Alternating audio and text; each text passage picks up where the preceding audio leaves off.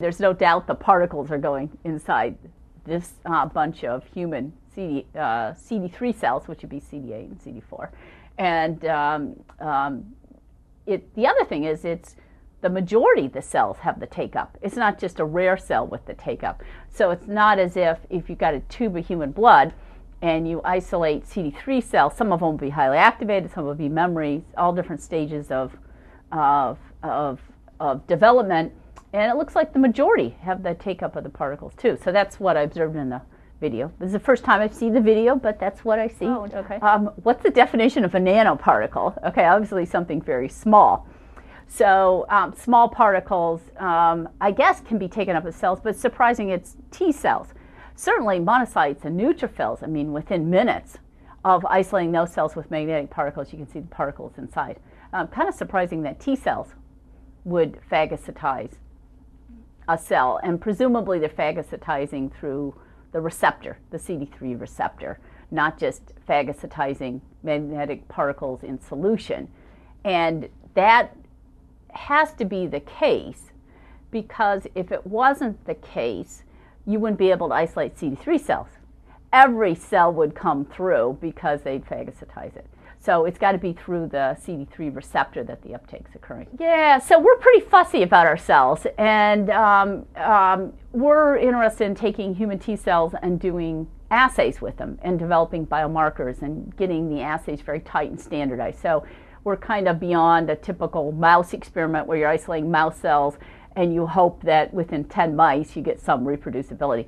We really like um, human T cell isolations to be totally standardized, and in fact, we've automated a lot of them with high throughput uh, machinery. And in that case, our favorite T cell is a T cell that doesn't have a magnetic particle on the outside, or maybe you're even telling me on the inside, um, and also a freshly isolated T cell that doesn't have an antibody attached either. So we kind of like, we think the best functional data is from human T cells that are like virgins, that they've had something attached to them, hopefully with an epitope that doesn't signal, because these are all positive cell isolations. But most importantly, by the time you put that cell in a culture well and you're doing whatever you want from that cell, whether it's cytokines or T cell assays, that that cell has nothing on the surface. So that's our gold standard for a good cell. Our, we have marched through every single major bead manufacturer as we've tried to standardize human T cell assays. And we have, as we've tried to standardize these T cell assays for clinical trials, a number of criteria. And we have this little slogan and the slogan in the lab is good cells in equals good data out. okay? And the definition of a good cell in is a cell that's separated from blood that has good viability, purity, and yield. Okay? So it's not satisfactory to us to have um, high viability T cells, but guess what? From a tube of blood, you only got 10%. Or uh, worse yet, you got 10% today, but you got 80% yesterday, and you got 40% the day before. So we want reproducibility and we want high viability, high yield, and high purity. And that sort of standardization we've achieved with the DetachaBeads.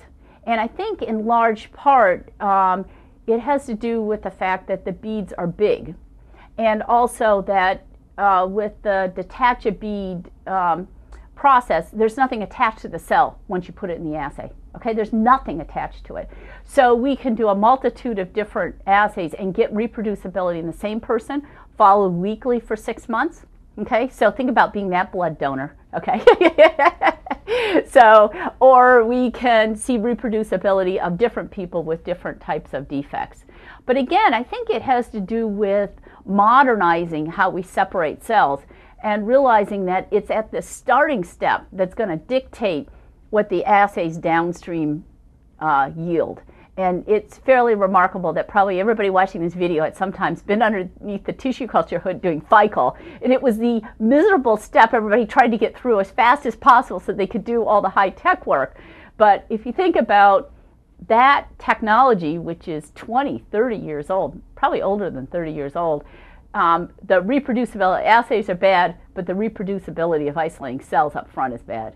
So once we realize that high throughput T cell assays needed standardization up front. We realized we needed to go to positive T cell selections.